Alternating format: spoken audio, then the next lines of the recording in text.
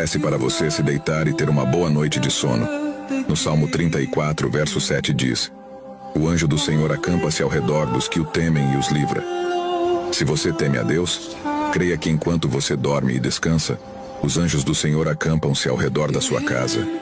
Pode dormir tranquilo porque o Senhor está te protegendo.